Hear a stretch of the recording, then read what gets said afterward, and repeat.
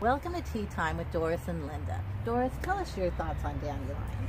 Dandelion. Most people think it's an annoying weed in their garden.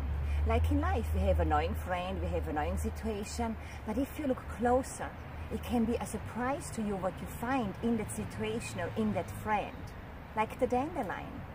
Linda, tell me about the dandelion. The dandelion is a first food for bees in the springtime. It supports the liver, purifies the blood, natural source of vitamins and minerals, and the robust earthly flavor is a good coffee substitute. Isn't that amazing? If you want more information, go to our website at dorisoceansworld.com. ChooseHerbsForHealth.com. Auf Wiedersehen. See you next time.